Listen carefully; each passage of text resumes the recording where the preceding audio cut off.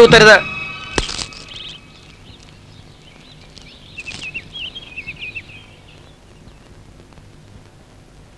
I am advocate Manmadhan.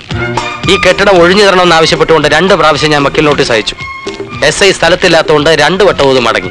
Refused is equal to accepts ഈ സ്റ്റേഷനിൽ charge എടുത്ത് പുലിവാൽ പിടിക്കുന്നതിനേക്കാൾ പുതിയ എസ് ഐക്ക് പുതിയ സ്റ്റേഷനാണ് നല്ലത് അല്ലേ? നിങ്ങൾ എന്തൊക്കെയായി പറയുന്നത്? എനിക്കൊന്നും മനസ്സിലാവുന്നില്ല. ഞാൻ പറഞ്ഞു മനസ്സിലാക്കി തരാം സാർ വേണ്ട. ഇനി ഈ പുതിയ സൈക്ക് ഈ വക കാര്യങ്ങളൊക്കെ ഞാൻ പറഞ്ഞു കൊടുത്തോളാം. ഞാൻ പറയാ. ഈ കുട്ടിയുടെ കെട്ടിടമാണ് ഈ പോലീസ് സ്റ്റേഷൻ. ഇതിന്റെ അമ്മാവന്മാരാ ഈ നിരന്ന് നിൽക്കണ നാലെണ്ണം. ഹലോ അവരല്പം പെശക. ഈ സ്റ്റേഷൻ ഒഴിപ്പിക്കാൻ ഇവരേൽപ്പിച്ച വക്കീല ഈ നിവർന്നു നിൽക്കുന്നത്. അതെ കാത്തിരുന്ന് കിട്ടിയ ഒരു ജോലിയായത് വന്ന് കയറും മുമ്പ് എന്നെ സ്റ്റേഷൻ ഒഴിഞ്ഞു കൊടുക്കേണ്ടി വന്നാൽ ഡിപ്പാർട്ട്മെന്റിൽ തന്നെ ഞാനൊരു രാശിയില്ലാത്തവനാകും. രാശിയല്ല ഇവിടെ പ്രശ്നം? വാച്ചിയാ വക്കീൽ നോട്ടീസ് കാണിച്ച് വക്കീൽ നമ്മളെ വരട്ടാൻ നോക്കുക കേസ് വിധിയാകുമ്പോഴേക്കും സർവീസിൽ നിന്ന് നമ്മൾ റിട്ടയർ ചെയ്തിരിക്കും. പേടിക്കണ്ട. അതെ ഈ പ്രശ്നങ്ങളൊക്കെ ഞാനൊന്ന് വിശദമായിട്ട് പഠിച്ചോട്ടെ. എന്തേ? ഒന്ന് മാറി. മാറൂ. പഠിച്ച് പരീക്ഷ എഴുതി പാസ്സാകാനുള്ള സമയമില്ല. വിവാഹം നിശ്ചയിച്ചിരിക്കുന്ന പെൺകുട്ടിയായത്.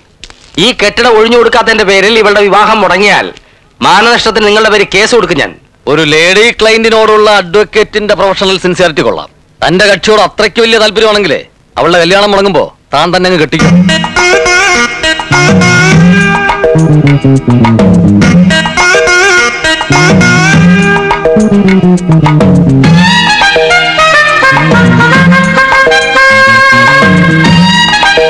ഒരു പെൺകുട്ടിയുടെ ജീവിതം വിട്ട് പന്താടരുത്. അഡ്വക്കേറ്റ് മന്മഥനെ തനിക്ക് ശരിക്കും അറിയില്ല. എല്ലാറ്റിനെയും കോടതി കയറ്റി ഞാൻ. സോറി കണ്ണി കാണുന്നവരൊക്കെ കോടതി കയറ്റാൻ കോടതി എന്താ തറവാട്ട് വകേ? ഒരു കേസ് കിട്ടിയാൽ അയാൾ അതിൽ നിന്ന് നാല് കേസ് ഉണ്ടാക്കും.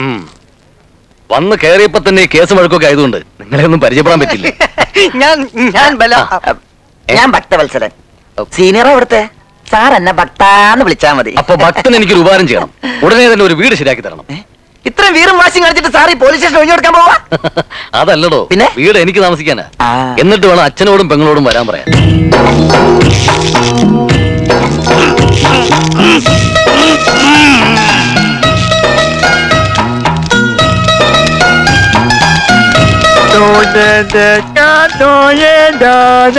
ആസനം.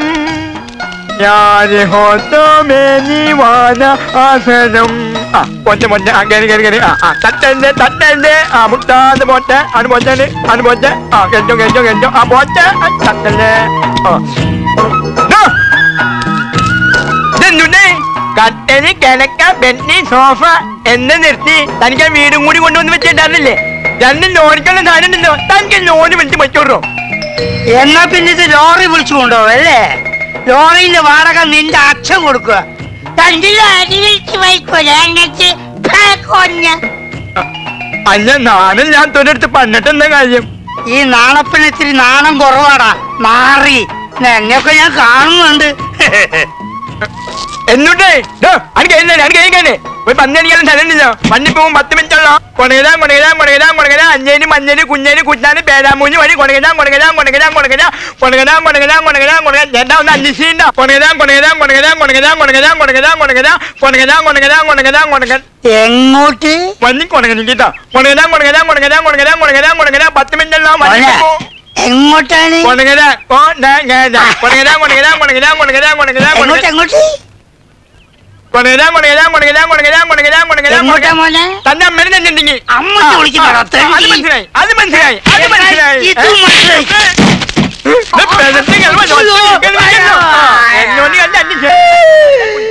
സുന്ദരി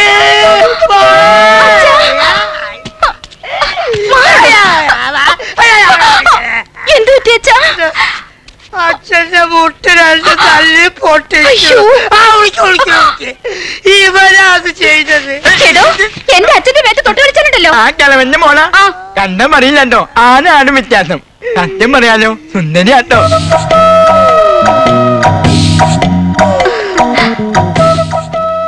കൊച്ചു നല്ലി സമയമായി സമയമായി കേരളത്തിൽ കഴിഞ്ഞോ വന്നിപ്പം പോവും. സമയമായി സമയം സുന്ദരൻ അച്ഛൻ കഴിക്കോളൂ സുന്ദരൻ അച്ഛൻ കഴിക്കോളൂ സുന്ദരിന്റെ അച്ഛൻ മാത്രമല്ലടാ. സുന്ദരനും കൂടെ അച്ഛനാണ്.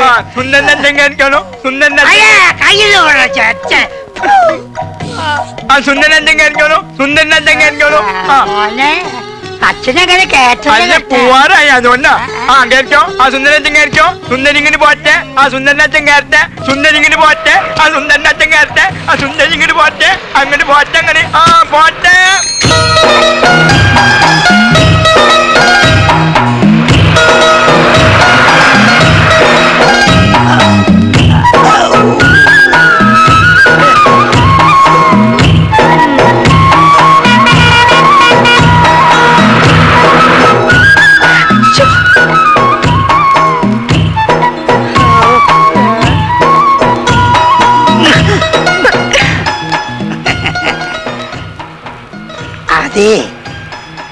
കൈക്ക് സുഖമില്ലാത്തതുകൊണ്ടാ പിടിക്കാത്തത് കേട്ടാ.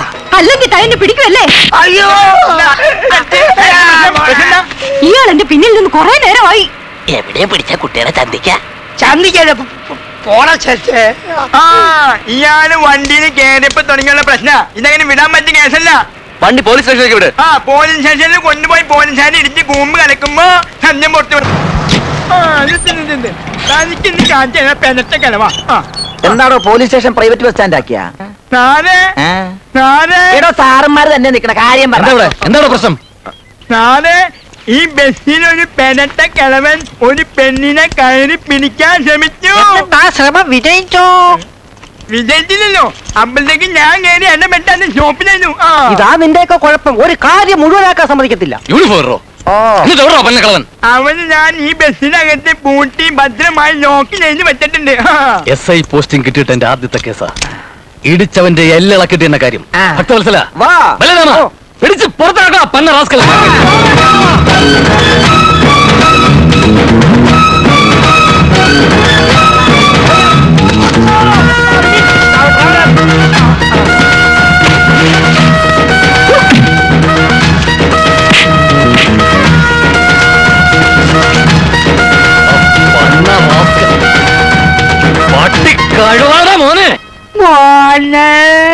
അച്ഛാ.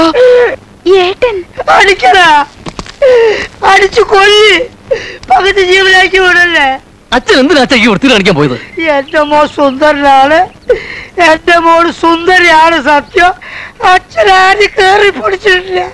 മോൻ സംശയം ഉണ്ടെങ്കിൽ ആ സ്ത്രീയെ വിളിച്ചു ചോദിക്കും. ഏതാ സ്ത്രീ? ഇവിടെ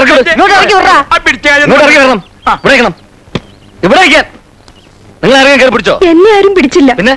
കൈക്ക് സുഖമില്ലാത്തോണ്ടാ പിടിക്കാത്തതെന്ന് പറഞ്ഞു കൈക്ക് സുഖമില്ലാത്തത് കൊണ്ടാ മോളിലെ കമ്പിയെ പിടിക്കാൻ പറ്റാത്തത് എന്നാണ് ഞാൻ പറഞ്ഞത് ഇതാ ഈ കൊല്ലൊക്കെ ഞാൻ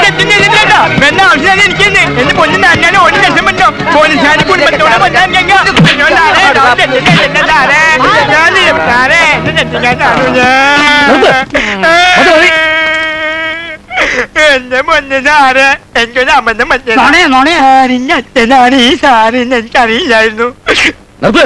ഇങ്ങോട്ട് നീങ്ങുക. എന്താണ് എന്റെ പേര്? പേരെന്താണ് തന്റപ്പൻ ഇത്. തഞ്ചപ്പൻ. സാറിന്റെ അപ്പനെ വിളിക്കണം പട്ടി. തഞ്ചപ്പൻ. സാറെന്റെ പേരാ അയ്യോ. സാറ് അവന്റെ പേര് തങ്കപ്പൻ എന്ന് പറഞ്ഞു അതെ ഇവന്റെ കൊരനാഴിക്കിട്ട് ഒരെണ്ണം കൊടുത്താൽ ഇവന്റെ കൊഞ്ഞ പമ്പ കിടക്കും. അത് മാറിഞ്ഞ കാണിക്കാൻ വണ്ടി പോട്ടെ. എനിക്ക് സാധനങ്ങളൊക്കെ ഇറക്കാനുണ്ട്. വായ നോക്കി കണ്ട് മോൾ സാധനങ്ങളൊക്കെ താഴെ ഇറക്കുക ആ സാധനങ്ങളൊക്കെ ഇറക്കണോ? സാധനം മോളിലാ? സാധനം പിന്നെ മോളിലല്ല ഒഴിപ്പിക്കാൻ നടക്കുന്ന പെണ്ണല്ലേ അത്? അവളെന്താ ഇവിടെ? ഇത് ലേഡീസ് ഹോസ്റ്റലാ. അവൾ അവിടെ നിന്നാ പഠിക്കുന്നത്. എനിക്ക് ഈ വീടല്ലാതെ മറ്റൊരാളെ കണ്ടുപിടിക്കാൻ ഭക്തന് പറ്റിയില്ലേ? അടുത്തടുത്താവുമ്പോ നിങ്ങൾ തമ്മിൽ ദിവസവും കണ്ട് തട്ടിയും മുട്ടിയും കാര്യങ്ങൾക്കൊക്കെ ഒരു നീക്കമൊക്കെ ഉണ്ടായാൽ പോലീസ് സ്റ്റേഷൻ പെട്ടെന്ന് ഒഴിയേണ്ടി വരില്ലല്ലോ. എങ്ങനെയുണ്ട് സാറേ ഈ ബുദ്ധി? ആ, ഈ ബുദ്ധി ബുദ്ധിമുട്ടുണ്ടാക്കും. ഒരു ശത്രുവിന്റെ അടുത്ത് കിടക്കുമ്പോ പ്രശ്നങ്ങൾ കൂടുതൽ വഷളാവുകയുള്ളൂ. കേറ്. കേറ് സാറേ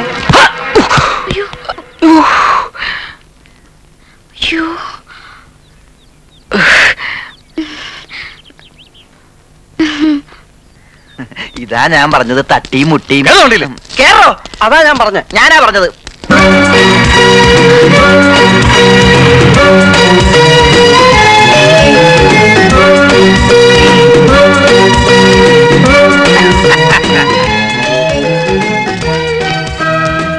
എടോ ആ ബോളിങ് തന്നെ. നിനക്ക് തരടി. എന്റെ മോന്റെ പോലീസ് സ്റ്റേഷൻ നിനക്ക് ഒഴിപ്പിക്കണല്ലേ? ഹെ, ആ പൂതി മനസ്സിൽ ഇരിക്കുള്ളൂ എടോ കിളവാ. ഓടി അവിടുന്ന്. അച്ഛനാണ്ടി സൂക്ഷിച്ച് സംസാരിക്കണം. ആ. പ്രായം നോക്കില്ല ഞാൻ. എടി എന്റെ നാക്കിലെ പെട്രോളും ഡീസലും അടിക്കണ്ട. നിന്നെ തെറി പറയാൻ. നല്ല മൈലേജാ. അവളെ ഒരു വേഷം. എടി ആണുങ്ങളെ വളച്ചെടുക്കാൻ. നീ ഇട്ടിരിക്കുന്ന ട്രൗസറിനെക്കാട്ട് വലുതാടി. ഞാൻ അടിയിലിട്ടിരിക്കുന്ന അണ്ടർവർ നോക്ക് കണ്ട? ലോക്കപ്പിലാക്കും ലോക്കപ്പിലാക്കണേ പുല്ല്.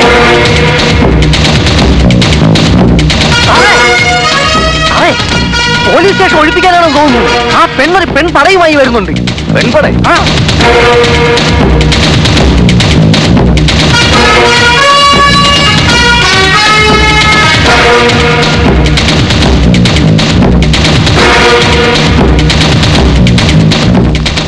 നിക്ക് എങ്ങോട്ടാ ഇടിച്ചേർ പോകുന്ന? നിങ്ങൾ പോലീസ് സ്റ്റേഷൻകാരെ അതൊക്കെ കാണിച്ചാലേ? ഇവിടെ തടയാൻ വനിതാ പോലീസ് ഒന്നുമില്ല അവസാനം അവിടെ പിടിച്ചു ഇവിടെ പിടിച്ചു എന്ന് പറഞ്ഞ് പാവം പോലീസുകാരെ കുറ്റം പറയരുത്. സാറന്മാർക്ക് തൊട്ട് കളിക്കാൻ ഒരുങ്ങി വന്നവരല്ല ഞങ്ങൾ. ഒരു പരാതി തരാൻ വന്നതാ. അറിയാം. ഈ സ്റ്റേഷൻ ഒഴിപ്പിക്കാനുള്ള പരാതിയല്ലേ? ആ പരാതി ഇവിടെ എടുക്കില്ല. ഇതല്ല പിന്നെ? അയൽവാസിയായ ഒരു ദരിദ്രവാസിയെ. ഒഴിപ്പിക്കാനുള്ള പരാതിയാ. ഓഹോ. കാര്യം നിങ്ങൾ എന്റെ ശത്രുവാണെങ്കിലും ഒരു പരാതി കിട്ടിയാൽ അത് ന്യായമാണെങ്കിൽ മുഖം നോക്കാതെ ഞാൻ നടപടി എടുക്കും. വാക്കാണല്ലോ.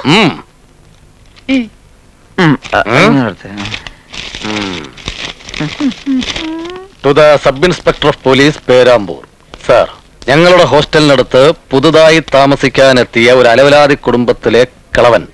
വൃത്തികെട്ട ഭാഷയിൽ അയൽവാസികളായ ഞങ്ങളെ ചീത്ത പറയുകയും ഓഹോ അവനെ ചെപ്പി നോക്കി ഒന്ന് കൊടുക്കായിരുന്നില്ലേ? ഞങ്ങൾ കൊടുക്കേണ്ടതായിരുന്നു. സാറന്മാരിവിടെ ഉള്ളപ്പോ ഉം. ഉണ്ടായിരുന്നോ? വായിക്ക് വായിക്ക് വായിക്ക്. ഞങ്ങളുടെ നേരെ ഉടുതുണി പൊക്കി കാണിക്കുകയും ചെയ്ത താഴെപ്പറമ്പിൽ നാണപ്പൻ എന്ന കക്ഷിക്കെതിരെ തക്കതായ നടപടികൾ താഴെപ്പറമ്പിൽ നാണപ്പനോ? അതെന്റെ അച്ഛനാണല്ലോ. അത് ശരി. സാറിന്റെ അച്ഛൻ ഇത്രക്ക് വൃത്തിയിട്ടവനോ ഉം, മോശം മോശം. അനക്കം. എന്നെ മനഃപൂർവം നാട്ടിക്കാനായി എന്റെ അച്ഛനെതിരെ ഒരു കള്ളക്കേസ് കെട്ടി ചുമച്ചോണ്ട് ഒരു വയസ്സനായതുകൊണ്ട് നിങ്ങൾക്ക് പരാതിയുണ്ട്. ഒരു ചെറുപ്പക്കാരനായിരുന്നെങ്കിൽ അതൊന്നും ഉണ്ടാവില്ല അല്ലേ ഞങ്ങൾക്ക് ഒന്നേ അറിയണ്ടു. എന്റെ പരാതിക്ക് ആക്ഷൻ എടുക്കാൻ പറ്റുമോ ഇല്ലയോ? നിന്റെ ഒരു പരാതി. എന്താണ് നിന്റെ ഉദ്ദേശം? വെറുതെ പോലീസിന് പണി ഉണ്ടാക്കാതെ പോ- പോ പോ പോ പോ പോച്ചേ ഇല്ലേ സാറ് വല്ലത് പറയും. ഞങ്ങൾ കോളേജ് സ്റ്റുഡൻസാ സൂക്ഷിച്ചോ? എക്സ്ക്യൂസ് മീ ഏത് കോളേജിലാ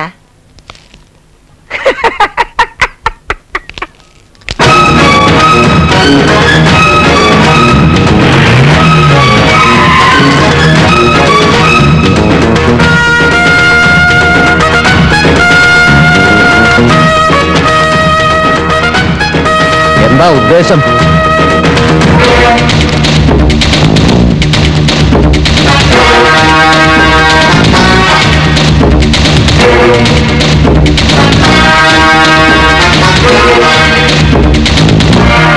ഇവനെ അറിയോ?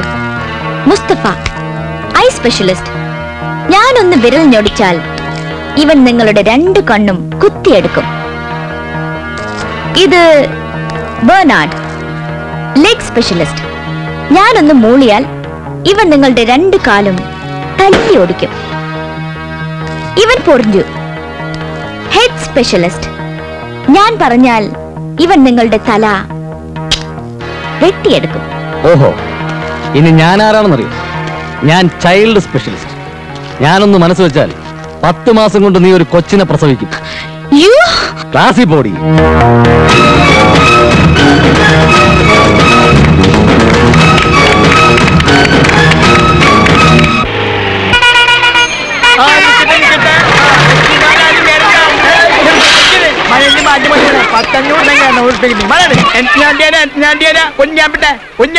നിങ്ങളൊന്നും ബസ്സിന്റെ ഫ്രണ്ടും കയറാനില്ല ആവുമ്പോ ഞാൻ പറയാം. മലയാണ് ആ ഇന്ന് മൊന്നെ ഇന്ന് മോന്റെ അയ്യല്ല ഓ മുല നിശയില്ല ഓ അന്നമുലത്തിൻ മഹദാനി ഓ അന്നമുലത്തിൻ മഹദോഹി. ആ ഇനി കുറച്ച് മൂന്നിരുന്ന ചേച്ചിമാരും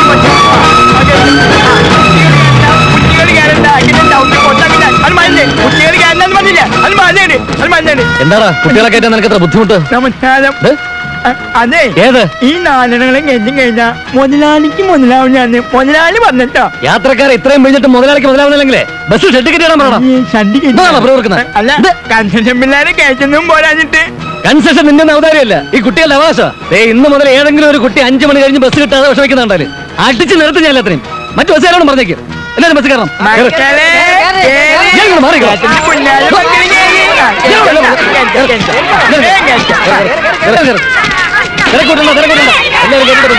തട്ടി വീഴണ്ട കേറിപ്പോ തിക്കല്ലേ തിരക്കല്ലേ?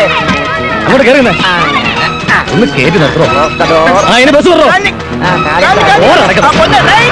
ഏ, ഇന്ന് മുതൽ ഈ സ്റ്റോപ്പിൽ ഒരു കോൺസ്റ്റബിൾ ഡ്യൂട്ടിക്ക് നിൽക്കണം.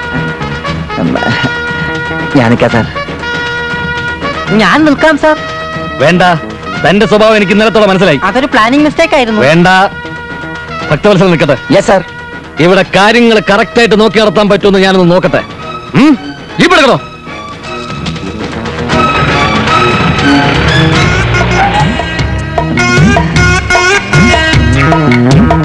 ബസ്സുകാരുടെ വലിയ ശല്യം ഉണ്ടല്ലോ ഇവിടെ.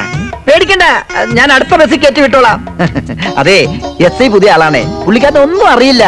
എല്ലാം ഞാൻ സാവധാനം പഠിപ്പിച്ചു കൊടുക്കുന്നുണ്ട്. ഇനി എന്ത് കാര്യം ഉണ്ടെങ്കിലും എസ് ഐ കാണണമെന്നില്ല. എന്ത് പ്രശ്നം ഉണ്ടെങ്കിലും അത് എന്നോട് പറഞ്ഞാൽ മതി. ഞാൻ സോൾവ് ചെയ്തോളാം. അല്ല ഏത് കോളേജിലാണ് പഠിക്കുന്നത്? എം ഇ ഈ മാത്തമാറ്റിക്സ് ഒക്കെ പഴയ മാത്തമാറ്റിക്സ് തന്നെയല്ലേ? ആട്ടെ എന്താ പേര്?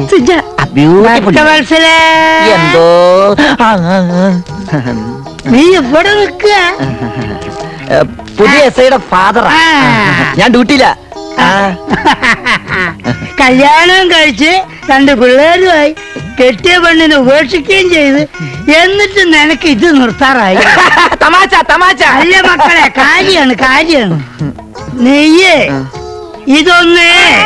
എന്തേ എന്തേ? ഒന്ന് വീട്ടിൽ കൊണ്ടുപോയി കൊടുക്ക്. ഏമാ വഴക്ക് പറയും. എടാ നിന്നെ വഴക്ക് പറയുന്ന ഏമാനെ വഴക്ക് പറയുന്ന ആളാണ് ഞാൻ. അതായത് അവന്റെ തന്ത. അപ്പൊ ഞാൻ പറഞ്ഞു നീ കേൾക്ക്.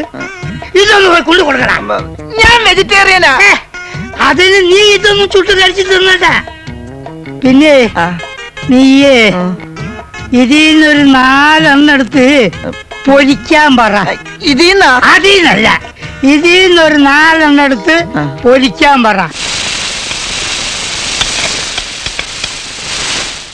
ഇപ്പോഴും കൊച്ചുകുട്ടിയാണെന്ന ഭാവം. പ്രായം എത്രയായി?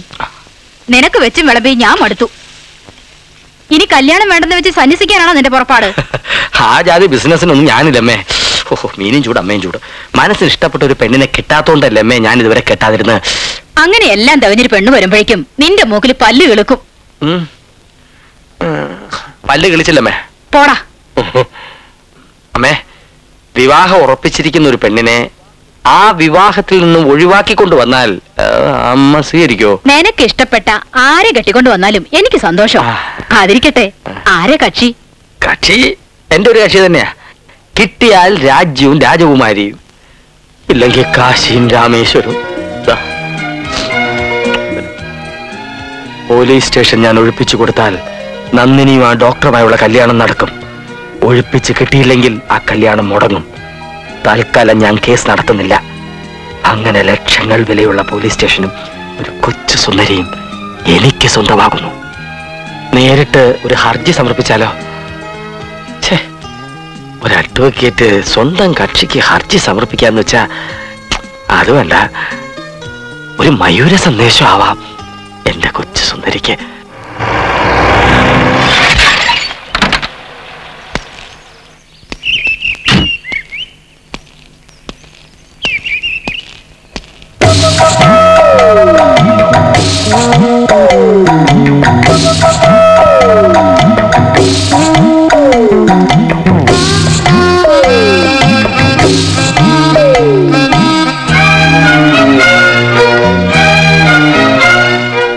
പ്രധാനപ്പെട്ട കേസിന്റെ കാര്യം പറയാനാണ് ഞാൻ നന്ദിനിയെ വിളിപ്പിച്ചത്.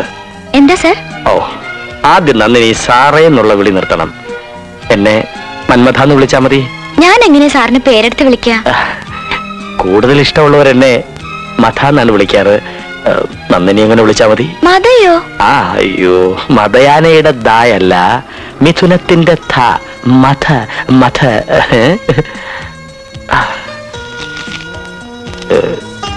ഇതൊരു വക്കീൽ നോട്ടീസാണ്. ഒന്നിനെ മനസ്സിരുത്തി ഒന്ന് വായിക്കണം. എന്താടി? ലവ് ലെറ്റർ ആണോ?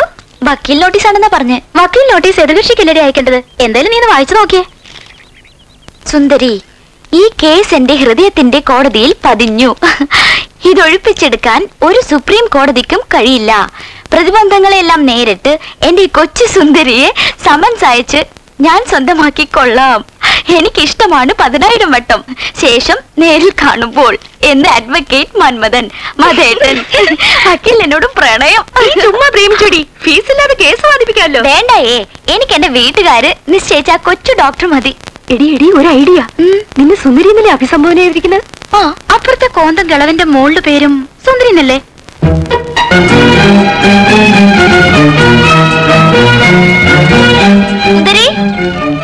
എന്താ? എന്റെ വക്കീൽ നിനക്ക് തരാനായി ഒരു കത്ത് ഏൽപ്പിച്ചിട്ടുണ്ട്. കത്തോ? എനിക്കോ? ലവ് ലെറ്റർ എന്ന് തോന്നുന്നേ. ഒരു കാര്യം പറഞ്ഞേക്കാം. വക്കീൽ നീയും തമ്മിൽ എന്തെങ്കിലും പ്രേമോ മറ്റോ ഉണ്ടെങ്കിൽ അത് നേരിട്ടായിക്കോണം ഇടനിലക്കാരിയാകാൻ എന്നെ കിട്ടില്ല.